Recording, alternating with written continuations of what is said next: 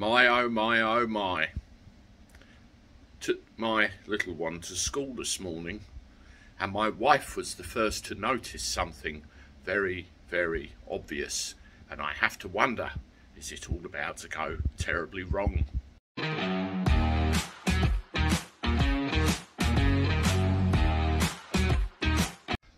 How do everyone? Welcome back to the channel for a Friday. Hope you're doing all right. Looking forward to the weekend.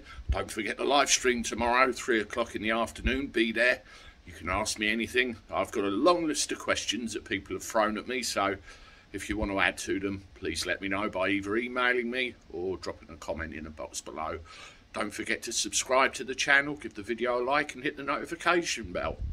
Well, I do wonder if we're heading for a what they called in the old days a winter of discontent.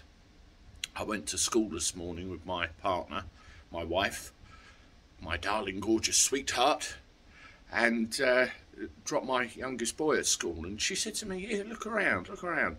And a lot more people than I've noticed over recent days and weeks are. You know what I'm saying without saying it. I don't want the YouTube thought police to come after me. Well, I said, this is a bit bad. It, it was more like a 60 40 split, I guess, rather than them being in the mi minority. And I said, Are you sure we've not had any communication of any kind? And we had a look at our email when we got home, and lo and behold, there was a letter.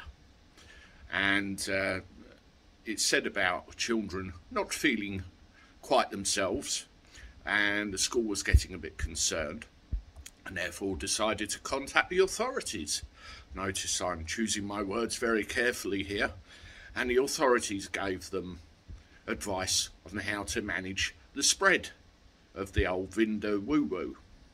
And I thought, oh, for fuck's sake, it's all happening again, isn't it?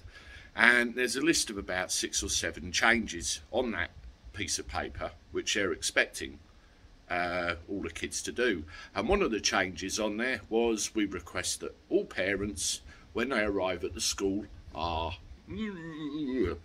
yes, okay. And all staff will have to as well.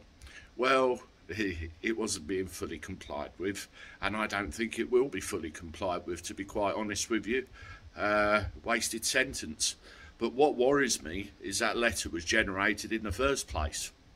And what I'd like to know from you, particularly if you're a parent, have you had the same thing too? I look forward to your comments.